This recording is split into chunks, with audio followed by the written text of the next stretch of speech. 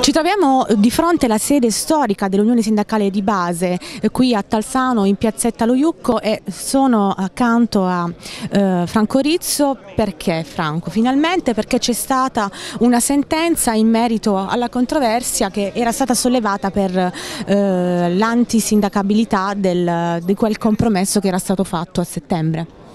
Sì, noi abbiamo denunciato ArcelorMittal e portato in tribunale a Taranto eh, per condotta antisindacale e per la non applicazione di quanto previsto all'interno dell'accordo sulla scelta del personale, sui criteri eh, che devono essere applicati nella scelta del personale.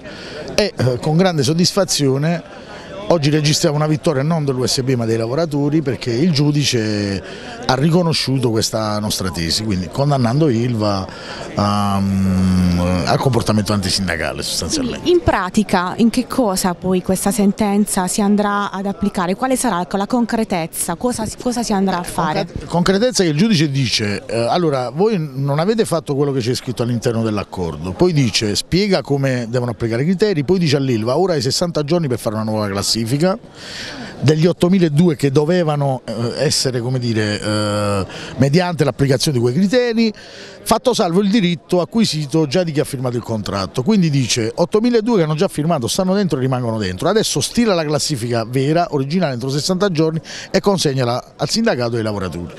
Quindi da lì dire, si aprono scenari come, di un certo tipo per, per ArcelorMittal. Quindi una vittoria da tutti i punti di vista, perché? Perché i lavoratori che erano stati assorbiti non rischiano la loro sedia, in più eh, coloro i quali si erano trovati al di fuori perché non erano stati seguiti questi criteri saranno insomma reinseriti nelle classifiche. Ecco sì, vorrei tranquillizzare anche le persone perché tra l'altro circolavano voci strane che alcuni soggetti stavano mettendo in campo non ci sarà uno che rientra e uno che ne riesce, ci sarà 8200 attuali dentro più quelli che eventualmente rientreranno in quelle classifiche. Quindi possiamo stare tranquilli, diciamo. noi ormai ci sentiamo parte di questa eh, insomma, controversia che c'è stato. Eh, oggi ci sono tanti eh, lavoratori qui fuori per... Beh, oggi stiamo aspettando l'avvocato, quindi faremo la, la riunione e spiegheremo nei dettagli eh, cosa è accaduto e cosa dice la sentenza del giudice. Poi ringrazieremo i lavoratori perché senza di loro noi non avremmo avuto la forza di portare avanti questa vertenza, io lo dico in tutta onestà. USB è stato lo strumento che i lavoratori hanno usato per portare AIM Investigo in tribunale. Perfetto, ti ringrazio Franco Rizzo, noi eh, aspettiamo quindi l'avvocato e vediamo un po' nella, diciamo, nella parte più tecnica cosa ci andrà a spiegare, grazie ancora. Grazie a voi. Non bisogna fare polemica, questa lo, lo dico e lo ribadisco, è una vittoria non del sindacato USB ma dei lavoratori, questa è una vostra vittoria perché senza di voi noi non saremmo arrivati, senza la fiducia che ci avete accordato e parlo di tutti i lavoratori qua presenti, lo voglio dire con, in tutta onestà. Mi è venuto un po' da ridere perché ho letto il comunicato di Ami Investico che ha partorito dopo 13 ore della sentenza e praticamente dice dice in, so dice in, sostanza che manca solamente che avessero scritto alla fine abbiamo vinto la causa, mancava solo quello perché dice le domande dell'USB sono state rigettate. Mo Mario vi spiega in concreto che cosa è successo, io poi vi dico dal punto di vista sindacale, Mario vi spiega uh, la, la, la sentenza, io vi dico poi dal punto di vista sindacale qual è l'orientamento che noi abbiamo che è sempre quello che già avevo annunciato mesi fa sostanzialmente. E vabbè, un ringraziamento a Mario che eh, è stato...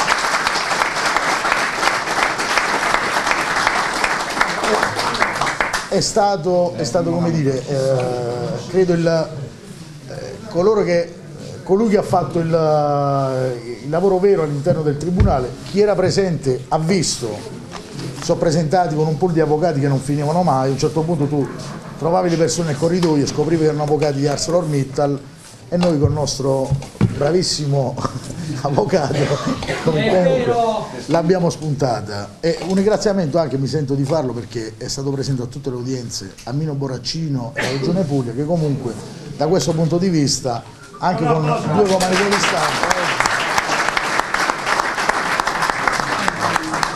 hanno sempre supportato le hanno sempre supportato le tesi dei lavoratori. Sostanzialmente c'è la domanda prima, no? noi abbiamo portato avanti una serie di aspetti, in realtà il giudice poi alla fine si esprime sull'aspetto generale, la classifica, perché certo. all'interno di quelle classifiche il paradosso è che ci rientrano tutti, sia i lavoratori che sono stati sostituiti o quella parte che è stata sostituita dai lavoratori delle ditte terze. Diciamo che negli 8200 nella classifica che Ilva dovrà andare a stilare sostanzialmente l'avvocato dice ne vedremo delle belle più o meno rientra tutta la platea dei lavoratori che si sono, sono stati eh, giustamente a lamentarsi per il fatto di essere stati discriminati. Io la dico così come l'ho già l'ho comunicato ad alcuni colleghi di altri sindacati. Allora, a noi ci interessa, come dire, eh, essere pratici. C'è una sentenza che rischia di aprire, come ha detto Mario, perché io sono molto curioso di vedere come faranno le classifiche oggi. Poi tenete presente che Mario l'ha dimenticato, ma lì il giudice dice tu devi dare la possibilità ai sindacati firmatari dell'accordo e quindi anche ai lavoratori di andare a verificare. Quindi paradossalmente si innescherebbe un meccanismo che secondo me ammetterlo, tanto, eh, tanto piacere non gli farebbe. Io ve lo dico qua, lo dico proprio in massima tranquillità, l'ho già detto a qualche collega di altri sindacati. E su questo io non voglio polemizzare con nessuno perché ognuno ha la sua linea e tanti di voi lo dimostrano perché non sono manco iscritti nostri, non vi abbiamo chiesto la delega e non ve lo chiederemo, perché l'obiettivo nostro è quello di far rientrare le persone che stanno reclamando il diritto di andare a lavorare siamo disponibili, così come ho detto ad ArcelorMittal negli ultimi tre mesi, l'ho detto oggi ai colleghi, dire, a eh, partire dalla sentenza e a chiudere tutta questa faccenda facendo rientrare quelle 150-200 persone, quelli dovrebbe essere, quelli siete sostanzialmente, che stanno reclamando il diritto perché ingiustamente messi fuori. Noi siamo disponibili anche a fare accordi, come dire, a mettere tutto da parte l'alternativa qual è? Che devi applicare la sentenza del giudice e lì, come dire, si innescherebbero meccanismi particolari. Lo dico anche perché faccio una battuta, che non è tanto una battuta, oggi, dopo tanti messaggi di auguri, c'è stato pure qualcuno che mi ha mandato le auto, mi ha detto ti potevi fare il perché volevo rimanere in AS no? c'è stato anche qualcuno che mi ha fatto la battuta mi ha mandato l'audio dicendo frate avessi fatto la volevo rimanere in cassa integrazione detto in questa maniera però il punto qual è? Noi riconfermiamo la disponibilità, ecco lo dico perché ci stanno guardando, riconfermiamo la disponibilità eventuale a trovare una soluzione a breve termine senza aspettare i 60 giorni. Non vogliamo chiedere 1700 persone dentro lo stabilimento e tanti di quelli magari non avrebbero diritto, vogliamo chiedere che coloro che stanno reclamando il diritto a rientrare, cioè voi, cioè di assumere quei lavoratori e di chiudere definitivamente la partita. L'alternativa è applicazione della sentenza del giudice, qua smentisco qualcuno che sta dicendo eh, se fai ricorso non sei obbligato a fare le classifiche, non è così, la sentenza è, eh, ha efficacia, è esecutiva, esecutiva. È esecutiva. non Quindi, viene sospesa l'esecutività. Entro 60 giorni tu comunque sei obbligato a fare, eh, io non voglio arrivare, lo dico perché l'interesse primario è quello di far rientrare i lavoratori. Cioè a me eh, parte la soddisfazione per il gran lavoro che l'organizzazione ha fatto e che Mario Soggio dire, ha portato al termine. L'obiettivo nostro era e rimane quello di soddisfare le esigenze di tanti partiti di famiglie che sono qui presenti che stanno reclamando giustamente il diritto di andare a lavoro. Questo lo dico, ecco, faccio un appello visto che ci state pure riprendendo, perché eh, questa è una vittoria vostra. Io l'ho detto prima eh, quando Angelo mi ha chiamato, L'USB oggi è stato lo strumento che ci ha consentito di arrivare, come che ha consentito ai lavoratori di arrivare alla vittoria, ma l'unico interesse che abbiamo è quello di fare giustizia e di ripristinare una condizione di normalità.